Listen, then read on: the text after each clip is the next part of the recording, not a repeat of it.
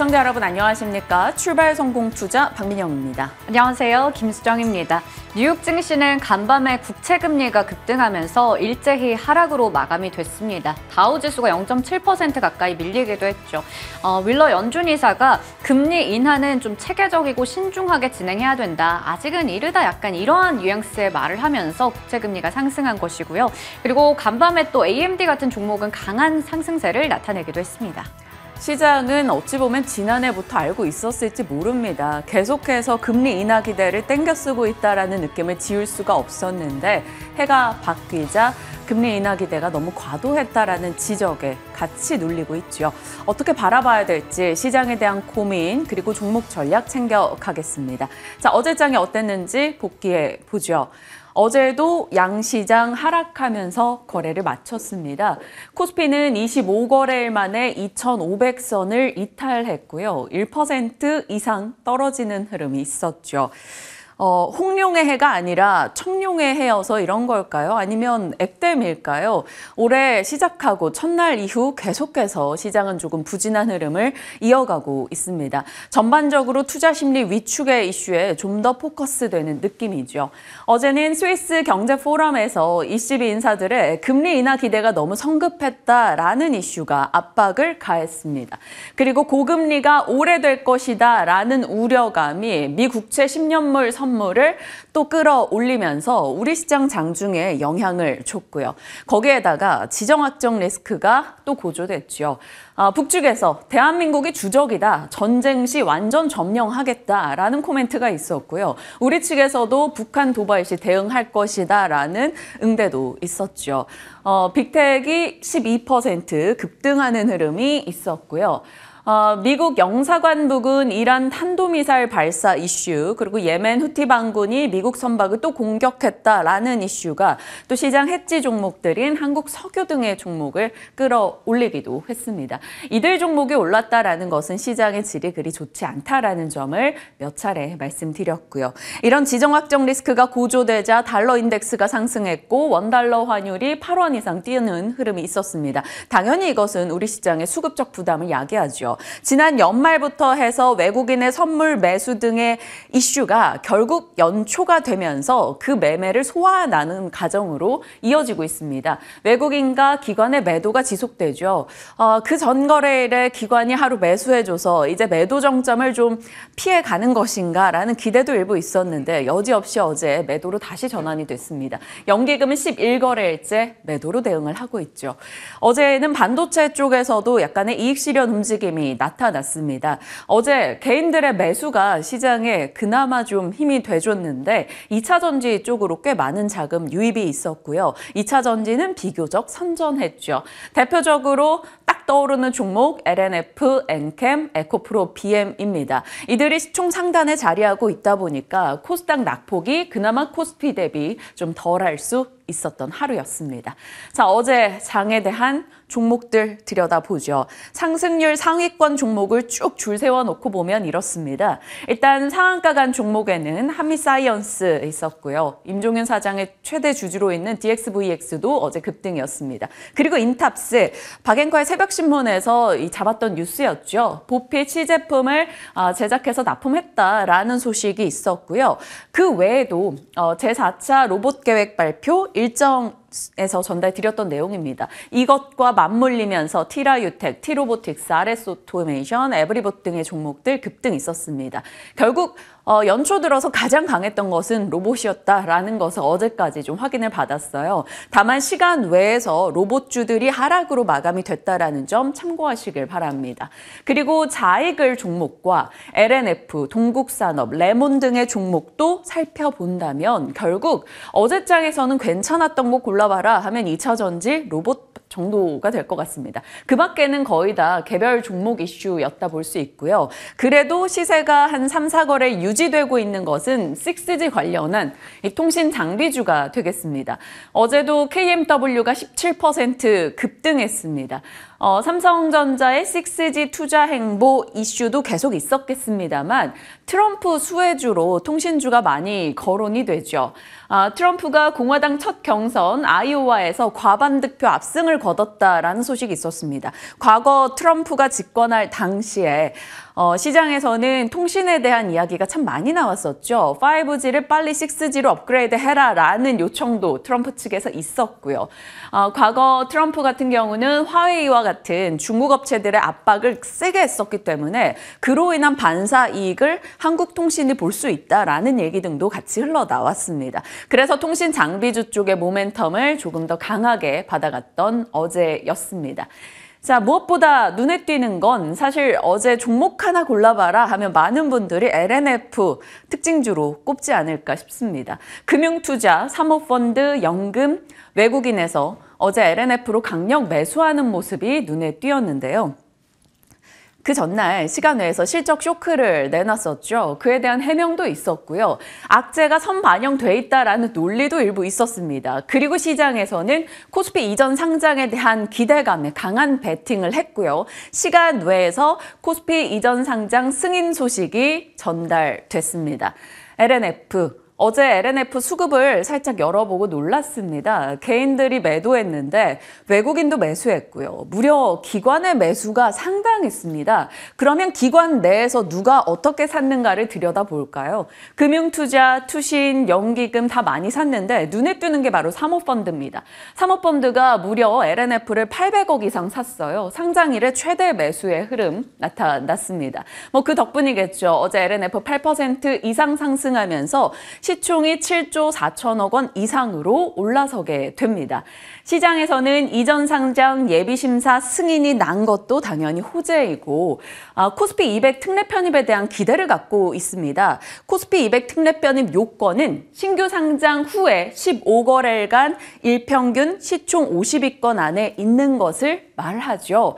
자 그러면 어제 코스피에서 시가총액 50위권, 51위권 이렇게 쭉 보면 51위가 7조 1천억 원 정도 아모레퍼시픽, 52위가 한화 에어로스페이스 7조 정도입니다. 그런데 어제 LNF 시총이 7조 4천억 원으로 올라가게 된 거죠. 코스피 200 특례 편입이라는 것은 기관의 수급을 부릅니다. 특히나 연기금의 수급을 불러오는 요소이죠. 그러다 보니까 연기금 수급 유입에 대한 기대감이 강하게 작용하면서 어제장 올라갔습니다. 여기다가 LNF 같은 경우는 코스닥 공매도 잔고 2위 종목입니다. 1위가 에코프로 BM이고요. 그러면 자금 유입돼서 주가가 올라가면 쇼커버가 될 수 있다라는 기대감도 시장에서는 갖고 있는 거겠죠. 다만 일각에서는 이렇게 지적합니다. 코스닥 150에서 편출되는 그 수급 이탈과 코스피 200에 편입되는 수급에 대해서 어느 정도 저울질을 해볼 필요는 있다라는 지적이 있으니까 요. 참고하시길 바랍니다. 자, 과연 LNF는 오늘 어떤 흐름을 보일지 상당히 궁금해집니다. 자, 시장에서 어, 계속해서 시장과 연준 간의 괴리가 어, 커지고 있는 느낌입니다. CME 페드워치상 3월 금리 인하 가능성은 여전히 65%입니다. 어제보다 조금 내려오긴 했어요. 어제는 67% 정도였는데 오늘 아침 열어보니 한 65% 정도 되더라고요. 그래도 압도적으로 높은 상황인 거죠. 하지만 시장과 달리 연준 인사들 혹은 각국의 중앙은행 총재들은 어, 금리 인하를 쉽게 해줄 생각이 없어 보입니다. 어제 오스트리아 중앙은행 총재 다보스 포럼에서 연내 금리 인하 확정 아니다라고 얘기했고요. 프랑스 중앙은행 총재나 독일 중앙은행 총재도 아, 승리를 선언하기엔 너무 이르다라고 얘기했습니다. 그리고 IMF 부총재 올해 하반기나 돼야 금리 인하할 것이다라고 언급했고요. 아, 라파엘 보스틱 애틀랜타 연은 총재도 3분기 돼야지 금리 인하 가능하다라고 언급했습니다. 거기다가 시장에서 기다렸던 것이 바로 크리스토퍼 월러 이사의 발언이었는데 어, 지난 11월에 그가 5월 전후에 금리 인하를 시사했던 바가 있었습니다. 그래서 이번엔 어떻게 얘기할까를 들여다봤는데 아, 과거처럼 빠르게 금리 인하를 할 이유가 없다라는 쪽에 시장에 초점이 맞춰졌습니다.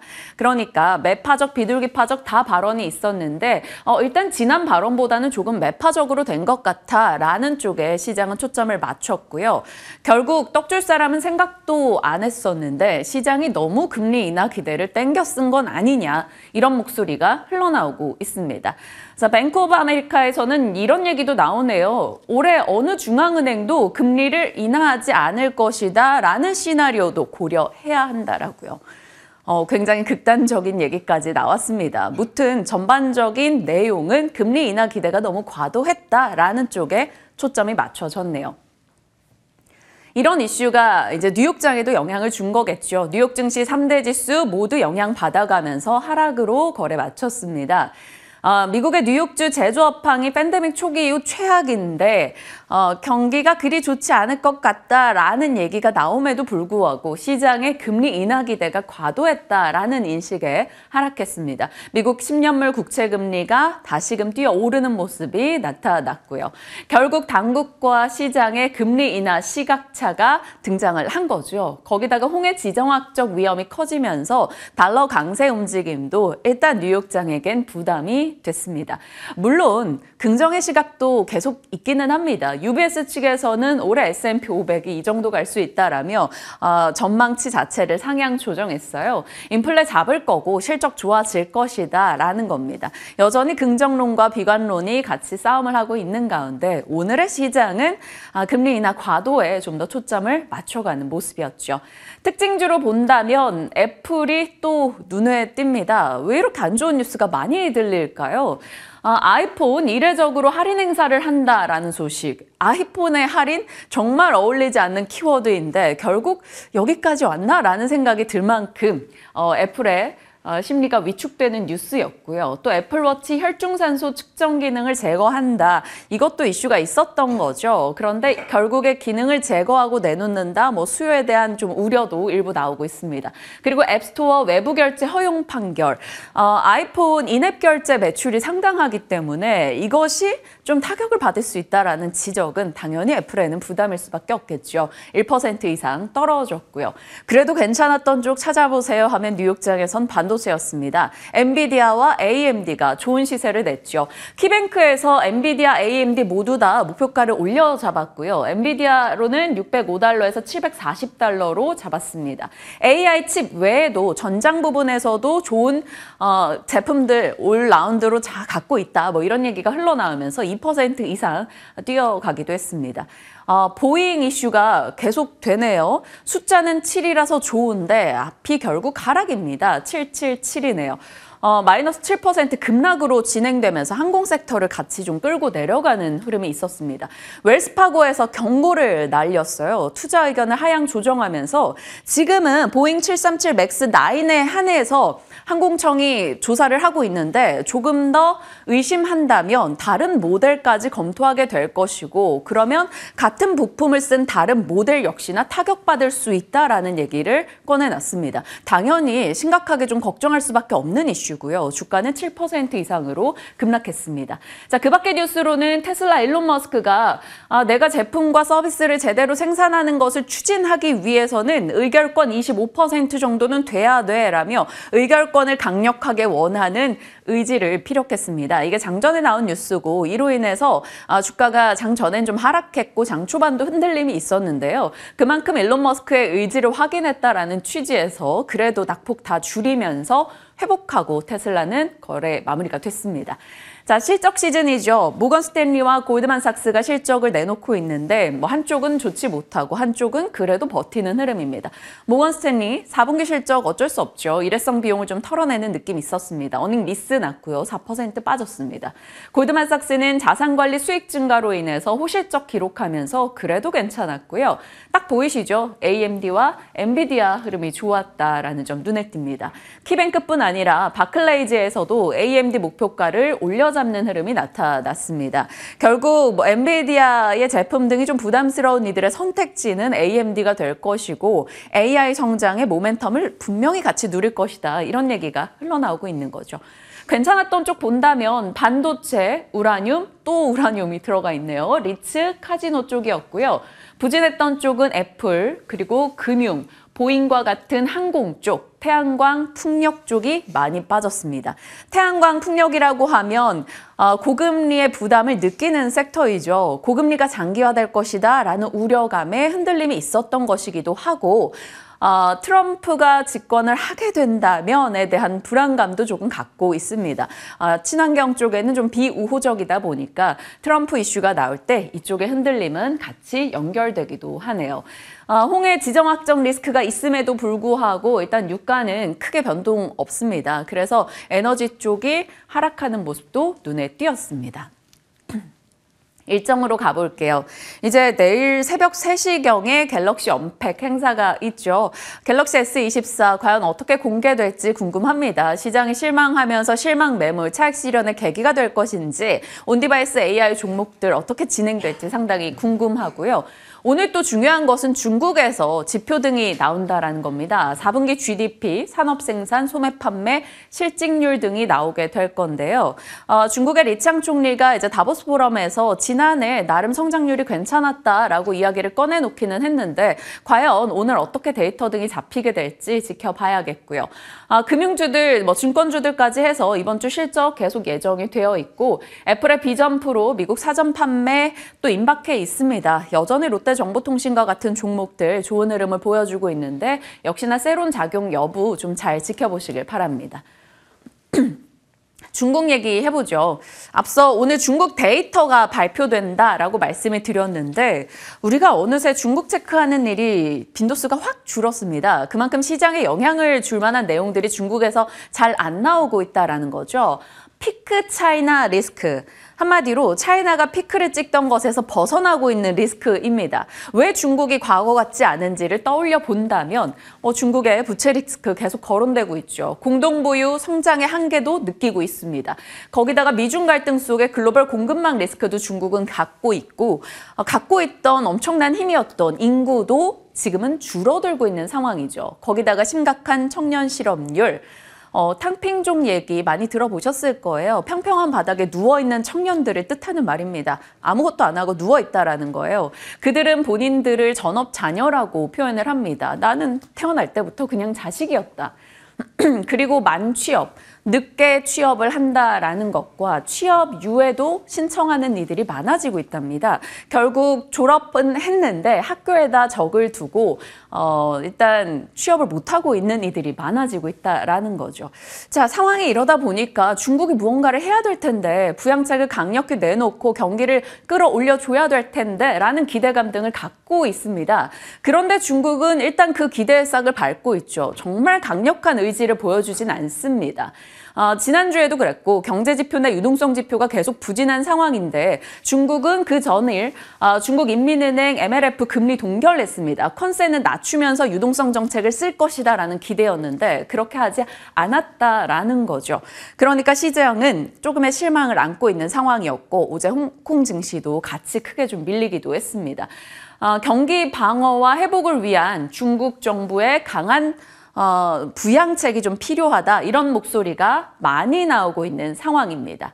자, 없는 기대를 끌어올려 보죠. 오늘 지표가 나오고 나서 중국이 뭐 충격을 받든 해서 정말 강한 부양책이 등장하게 된다면 어, 어느 쪽이 좀 수혜를 볼 수 있을까? 뭐 우리가 흔히 아는 중국 소비, 화학, 철강 등이 될 겁니다. 화학주를 떠올려 봤어요. 그래서 화학주 차트가 어떻게 진행되나 하고 열어봤더니 순수 화학업체나 뭐 복합 화학업체들 모두 참 주가 흐름이 좋지 않은 상황입니다.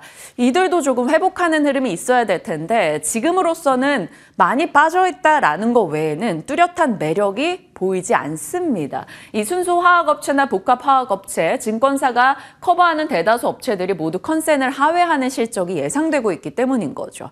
자, 그럼 화학 섹터에 대해서는 어떻게 바라봐야 될지 잠시 후에 시간 내서 좀 전략을 챙겨가도록 하겠습니다. 박앵커의 새벽신문 또 들려온 뉴스들 어떤 게 있나 좀 찾아봤습니다. 전쟁의 필수라고 하네요. 이 저궤도 위성. 중국이 자체 저궤도 위성을 또 대거 발사했다라는 뉴스가 들려옵니다. 어, 작년 9월이었어요. 러우 전쟁 이슈 이후로 저궤도 위성의 위, 중요성이 굉장히 커졌다라는 얘기를 전해드린 바가 있었습니다. 거기다가 기술이 발전하는 그 모든 과정에 저궤도 위성이 필요하다라는 얘기도 같이 했죠. 왜냐하면 정지궤도나 중궤도 대비해서 저궤도 위성은 훨씬 더 우리 지구에 가깝기 때문에 지상에 가까워서 정보 처리 속도가 빠르다라는 거였습니다. 자율주행하고 있는데 이렇게 정보 처리가 끊긴다라면 너무나 무서운 이슈죠. 그러다 보니까 통신이나 이런 쪽 이슈가 당연히 주목받을 수밖에 없었던 거고요. 저궤도 위성에 대한 얘기가 지정학적 리스크 그리고 기술 이슈 속에 계속 나오고는 있습니다.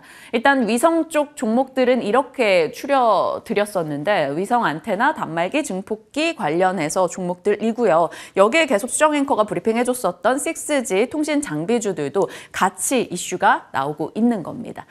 자, 또 다른 뉴스로는 역시 이거네요. 갈등의 영향권에 들어가는 뉴스가 너무나 많이 또 쏟아집니다. 일본의 3대 해운사가 홍해 운항을 중단했다라는 소식과 영국계 석유 메이저 셀이 이 홍해 할로 운항을 무기한 중단했다라는 뉴스가 나왔고요. 해상 운송업체에서 OL USA가 해운 경기 침체 이런 식으로 해상 운항이 중단된다면 운임이 계속 올라가서 해운업계의 경기 침체가 끝날 수 있다. 이런 얘기도 내놨습니다. 영향권에 들어가는 분야, 물류, 해운, 에너지, 가스, 석유 등이 되겠죠. 어제 시간 외에서는 완전 해운과 물류 쪽의 급등이 눈에 띄었어요. 태웅로직스, 동방, 한솔 로지스틱스, KCTC 등이 급등을 했고요. 에너지 쪽에서도 흥구석유 등의 종목 강세 흐름 보였습니다. 지금 시장에서는 방산, 에너지, 해운, 물류 쪽 종목으로 계속해서 시장이 갈 곳을 못 찾는 돈이 떠돌고 있다라는 것을 여실히 느낄 수 있었네요. 그리고 AI 쪽 뉴스도 계속 나옵니다. 다보스에서 AI 낙관론이 퍼지고 있다라는 것과 마이크로소프트가 오늘 새벽에 나온 소식이죠. 코파일럿 개인용으로 또 서비스를 내놨다라는 점. 그리고 오픈 AI가 사이버 보안에 진출한다라는 뉴스, 삼성전자가 갤럭시 S24용 AI 특허를 출원했다라는 뉴스 등이 있습니다. 결국 이건 자극하는 건 AI 소프트웨어, 사이버 보안 등이 될 텐데요. 과연 자금은 어디로 흘러가게 될 것인지 고민하고 지켜보시길 바랍니다. 참 시장에 요즘에 아이템 잡기가 너무 어려운 장입니다. 뚜렷한 아이템이 이제 보이지 않아서 저희도 어제 엄청 고민했는데 그 고민 끝에 아, 결국 지금 더 빠지지 않을 것 같은 쪽을 찾아보자라는 게 저희 네. 아이디어였죠. 어, 이게 굉장히 어려운 게 아이템만 한시간 반을 또 고민을 했던 것 같은데요. 어, 저희가 워낙 최근에 로봇, AI 그리고 통신 장비 여러 가지 이슈 있는 쪽은 다뤘기 때문에 지금 주가가 좀 밀려 있는데 여기서 올해가 더 좋다면 반등이 나오지 않을까 기대되는 쪽을 한번 찾아봤습니다. 바로 상사주가 될 텐데요. 아, K 상사주 2022년 말에 워런 버핏이 일본 종합 상사 쪽에 주식 비중을 좀 늘렸다 이러한 얘기가 나오면서 상사주에 대한 관심이 좀 몰렸습니다. 그런데 우리나라 K 상사주들의 주가 흐름도 사실 성적을 보면 일본의 상사주와 거의 뭐 맞먹을 정도로 괜찮았거든요. 이게 2023년 8월의 브리핑입니다. 그때 당시에 상사주에 굉장히 매력이 있다라는 내용 전해드렸는데요. 특히나 기존의 무역 사업도 있겠지만 이거는 업황을 좀 타는 쪽이다 보니까 상사주도 변화를 도모를 했습니다. 2차 전지나 신재생 에너지 사업 같은 여러 가지 사업의 다각화를 통해서 어, 이제 매력이 좀 커진 건데요. 일단은 그 당시의 내용들을 체크해 보겠습니다. 포스코 인터내셔널은 작년 한 해 동안 거의 고점으로 봤을 때 300%가 넘게 올라갔습니다. 2차 전지에 대한 부분이 있었기 때문인데요. 이때 당시에 급등한 주가는 다소 좀 부담이 되고 그룹사의 시너지에 대한 기대감이 주가에 많이 반영이 된 상태인데 multiple 확대가 앞으로 될 수 있다라는 근거는 존재하지만 당장의 실적 기여 속도는 빠르지 않다라는 게 증권가 의견이었습니다. LX 인터내셔널 같은 경우에는 최대 강점인 M&A를 통해서 주가의 회복 동력을 마련했고 하반기에 특히나 니켈 광산을 인수하는 여러 가지 모멘텀들 나왔는데요. 올해 과연 어떻게 되는지 잠시 후에 보겠습니다. 현대코퍼레이션 같은 경우에는 이 에너지 사업이라고 하는 상사주에게 있어서 신사업이 될 수 있는 부분을 일찌감치 투자를 했다라는 부분까지 체크해 볼 수가 있겠습니다. 자, 그러면 작년에 이러한 부분들 바탕으로 해서 시세는 어떻게 나왔을까요? 삼성물산 같은 경우 14%가량 성장을 했죠. 그리고 포스코 인터내셔널 말씀드렸듯이 고점 기준으로 봤을 때는 300% 넘게 올라갔고 176% 정도 종가 기준으로는 상승폭을 나타냈습니다. 현대코퍼레이션과 SK네트워크스 각각 47%, 49% 올라갔고요. LX 인터내셔널은 좀 빠졌었네요. 자, 그러면 올해는 어떻게 되고 있을까요? 1월도 절반 정도를 지나간 시점에서 상사주들의 흐름은 그렇게 좋지는 않습니다. 포스코 인터내셔널은 아무래도 2차 전지 영향도 좀 받고 있는 쪽이고 삼성물산 최근에 블록딜 이슈도 나왔었죠. 일단은 하락세 나타내고 있고 이렇게 지금 1년 차트로 봤을 때는 포스코 인터내셔널이 상당한 강세를 보이면서 차별화되는 모습 나타냈었지만 지금은 굉장히 재미가 없다 라고 볼 수 있겠습니다. 자, 그러면 일본의 종합 상사는 어떨까요? 음, 지금 최근에 1월 4일에 한국투자증권에서 일본 종합상사 5개 기업에 투자를 하는 ETN을 상장시켰는데요. 1월 4일부터 지금까지 쭉 올라가고 있습니다. 11%가량의 상승세를 나타내고 있는데요. 국내 상사주들 그러면 앞으로 어떻게 좀 보면 좋을지 지금 자리가 매수를 해도 괜찮은지 체크해 보도록 하겠습니다. 자, 먼저 상사 빅2를 가지고 왔는데요. 미래 산업을 등에 업고 실적이 잘 나올 것으로 기대가 되고 있어요. 글로벌 업황이 좀 부진했기 때문에 상사 부문의 실적은 기대치를 밑돌겠지만 신사업 부문이 확실히 잘 됐다라는 측면에서 지난해 영업이익이 대폭 증가할 것으로 기대되고 있습니다. 삼성물산과 포스코 인터내셔널 각각 4분기의 영업이익이 11% 그리고 53%나 늘어날 것으로 기대되고요. 연간으로 봤을 때도 영업이익의 대폭 증가가 예상되고 있는데 이건 건설이나 전기나 에너지 같은 신사업 쪽에서 이제 역량을 좀 드러내고 있기 때문입니다. 삼성물산 같은 경우에는 건설 쪽이 34%가량의 비중을 차지하는데 물론 건설도 시황이 좋지 않았습니다. 하지만 해외에서 여러 가지 좀 프로젝트가 있어서 나름 좀 선방했다라고 볼 수 있겠고요. 상사 쪽은 그래도 어느 정도 이 원가의 감소 같은 부분 실적 개선 기대할 수가 있겠고 삼성 바이오로직스 같은 부분에서도 지금 계속해서 영업이익이 올라가고 있기 때문에 나름 괜찮다. 업황이 좋지 않은 건설을 포함했을 때도 전 사업부가 역대 최고 실적을 유지하고 있다라는 게 규보증권의 설명이었습니다. 그리고 포스코 인터내셔널 같은 경우에는 에너지 쪽의 비중도 13%가량 되는데요. 견조한 이익을 나타내고 있고 글로벌로 봤을 때는 철강과 식량 소재 그리고 무역은 수익성이 개선되고 있다라는 게 흥국증권의 의견이었습니다. 그런데 작년보다 올해가 더 좋을 거라는 게 증권가의 이야기입니다. 이 이번에는 K상사 빅3의 실적을 미리 보려고 하는데요. 매출과 영업이익의 컨센서스를 보시면 모두 다 지난해 연간 대비해서 더 좋을 것으로 기대가 되고 있습니다. 그 이유들을 보면 삼성물산은 올해는 주주 환원 확대 에 대한 그런 기대감이 있고요. 네옴시티 관련해서 해외에서 인프라나 modular 쪽의 수주가 본격적으로 이루어진다라고 볼 수 있겠습니다.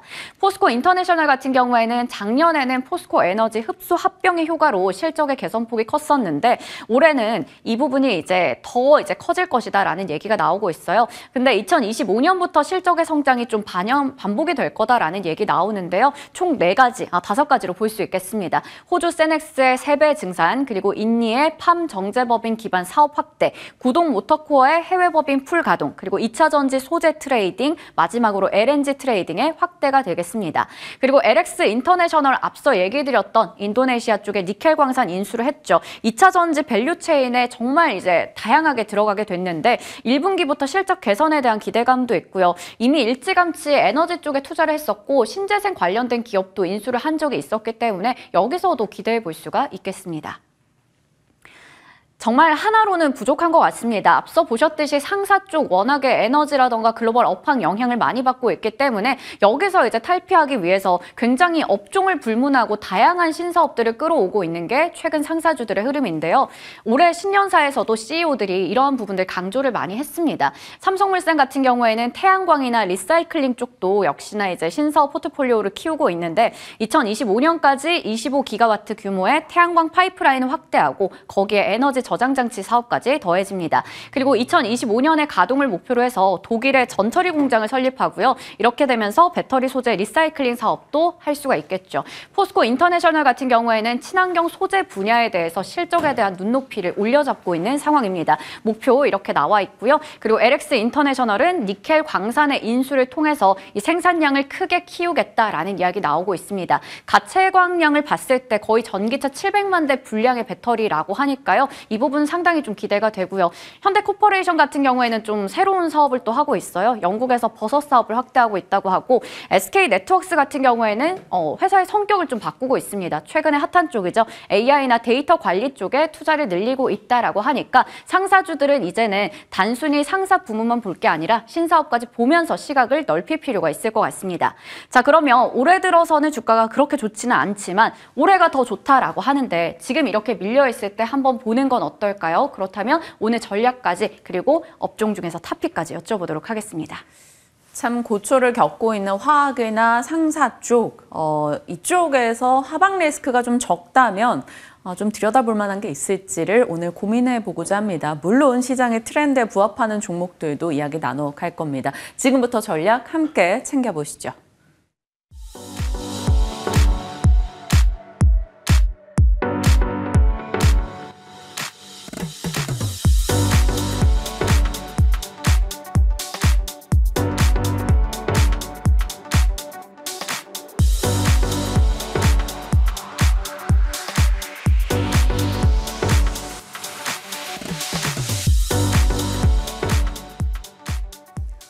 시장 전략 김민진 차장님과 함께 살펴보겠습니다. 어서 오세요. 안녕하세요. 네. 차장님, 시장이 왜 이럴까요? 어느 정도 지난해 오른 것에 대한 뭐 반납은 할 거라고 음. 생각했는데 11월부터 코스피가 올랐던 것의 한 절반 정도를 되돌린 상황입니다. 정말 크게 뭐 사고 나서 할부 갚는 느낌이라고 제가 앞서 표현을 했는데 어, 알고 맞은 맨데 좀 세니까 아픈 느낌이에요. 시장 어떻게 보십니까? 그렇죠. 지금 뭐 연말 연초 어떻게 보면은 이제 외국인들의 선물 매수 물량들이 어, 어차피 매도로 전환될 것이다. 이에 따라서 금융투자의 매도 압박은 이어질 수밖에 없다라는 점을 말씀을 드렸었고 네. 실제적으로 그러한 조정이 나타나고 있는데 방금 말씀 주셨던 것처럼 글로벌 증시에서 가장 부진한 성과를 내고 있는 코스피 증시이기 때문에 그리고 지난 8거래일 연속 주가가 하락하는 또 굉장히 약세 흐름을 이어갔었기 때문에 그리고 그 8거래일 연속 하락이 8거래일 연속 음봉과 함께 같이 나타났습니다. 사실은 굉장히 보기 힘든 일이거든요. 네. 그러다 보니까 국내 증시에 근본적인 어, 우려감들이 좀 발생되고 있는 것이 아닌가라는 생각이 드는데요. 작년 증시를 올렸었던 여러 가지 기대 요인들이 올해는 전부 다 반대로 작용을 하고 있습니다. 뭐 대표적으로 국내 수급적인 요인, 어, 그리고 실적 이러한 부분들일 것 같은데 4분기 어닝 시즌이 불안하게 출발했다는 요소가 첫 번째 있을 것 같고요. 두 번째는 원래 이제 달러화에 대한 안정화를 기대를 했다라는 거죠. 하지만은 어, 일본의 지진 사태와 함께 일본의 엔화가 갑자기 약세로 돌아서면서 달러에 대한 강세가 계속적으로 진행되고 있는 상황이고 거기에 더해서 우리나라 같은 경우는 지정학적 리스크까지 좀 이어지고 네. 있는 상황입니다. 하지만은 우리가 이렇게까지 빠지게 된다라고 한다면은 결국은 어, 미국에 오늘 아침 반영된 어, 반도체 기업들의 반등세 이런 것들을 보면서 오늘은 조금 그러한 모습들을 기대할 수 있지 않을까라는 판단이 들고요. 음. 재미있는 콘트 분석 자료가 있는데요. 우리나라가 2000년 이후 5천 거래일이 넘는 거래일수 동안 오. 8거래일 연속 빠진 것이 총 이번까지 7차례밖에 되지 않았었고요. 어, 그 이후 10거래일 동안의 주가는 어, 앞선 여섯 번은 모두 다 상승을 했습니다. 어. 물론 이번이 그렇다는 것은 아니겠지만은 그러한 quant 분석 자료도 있으니까요. 어, 조금씩 좀 정상화되는 시장 흐름을 한번 기대해 봐야 되지 않을까 이렇게 생각을 하고 있습니다. 그러니까요. 여기서 계속 이런 흐름은 아닐 겁니다. 영원히 빠지는 건 없고 영원히 오르는 건 없다시피 분명히 좀 회복을 보일 수도 있겠다 싶은데 그 이후에 섹터의 강도가 어, 과거 우리가 뭐 올라갈 때처럼 강했던 그 정도 강도를 보여줄 건가? 그러니까 사람들의 기대치를 충족해 줄 건가가 좀 문제일 것 그렇죠. 같아요. 어, 섹터에서 2차 전지가 사실 제일 궁금합니다. 지금 어, 2차 전지가 어제 그래도 일부 종목들 덕분에 좀 선전하긴 했었는데 네. LNF 특히나 8% 이상 뛰었단 말이죠. LNF와 2차 전지 쪽 전략을 좀 주세요. 예, 어떻게 보면 이제 도저히 이해가 안 되는 어, 그저께였죠. LNF가 어, 장종료 이후였던 걸로 제가 기억을 하는데요. 대규모 손실 어, 영업 손실을 4분기 실적을 발표를 네. 했습니다. 네. 그런데 왜 주가가 올라갔을까를 생각을 해보면은 이유는 한 가지밖에 없을 거라고 생각이 들어요. 첫 번째는 아무래도 이제 어, 외국인과 기관들의 공격적인 매도 흐름 속에서 코스피의 접근 전략 자체는 쉽지 않다라는 개인들의 판단. 거기에 대해서 시장은 아무래도 개인들의 매수세가 좀 집중되고 있는 상황이기 때문에 그러한 부분들에 따른 전략적인 부분으로서의 코스닥 섹터에 대한 접근도가 높았다라고 볼 수 있을 것 같고 그러한 측면에서 LNF는 4분기 2천억이 넘는 손실을 지금 반영을 했죠. 특히 어, 원자재 가격에 대한 재고 평가 손을 1,500억을 반영을 했습니다. 네. 그러면은 여기서 리튬 가격이 더 빠져봤자 재고평가 손 반영될 것은 거의 없다라는 거죠. 거기에 대해서 리튬 가격이 반등하게 된다라고 한다면 이 재고평가는 이익으로 돌아서게 됩니다. 결국은 최악의 실적을 이미 4분기에 다 털어내면서 이제는 좋아질 일만 남았다라는 부분 때문이 아닐까라는 판단이 드는데 문제는 뭐냐면은요. 리튬 가격이 아직 반등을 하고 있지는 않다라는 거죠. 그렇기 때문에 어제의 상승은 일정 부분 수급적인 영향력이 크다라고 판단을 하고 있고요. 코스피 200 특례 편입 기대 그런 것들도 있겠죠. 네. 그리고 이제 또 하나 살펴봐야 될 부분은 2차 전지 내에서 우리가 어, 좀 소외받았었던 종목군들. 부담이 덜하다. 그렇죠. 어, 지금 그런 종목군들이 움직이고 있습니다. 대표적으로 엔캠과 같은 전해질 관련주라든지 아니면은 SK 아이테크놀로지 같은 분리막 관련주들은 최근 2차전지 관련주들의 조정 흐름 속에서 그래도 선전을 하고 있거든요. 이것은 시장의 눈높이 자체가 조금 더 부담이 옅은 종목으로 가자라는 이슈가 아닐까라는 판단이 들기 때문에 양극재 관련주들은 분명히 저도 올해는 한번 시세를 줄 것이다라고 생각을 하지만은 아직까지는 원자재 가격 반등이 제한적이기 때문에 그러한 부분들을 염두에 두고 천천히 대응하는 전략이 좋지 않을까 이렇게 생각을 하고 있습니다. 네.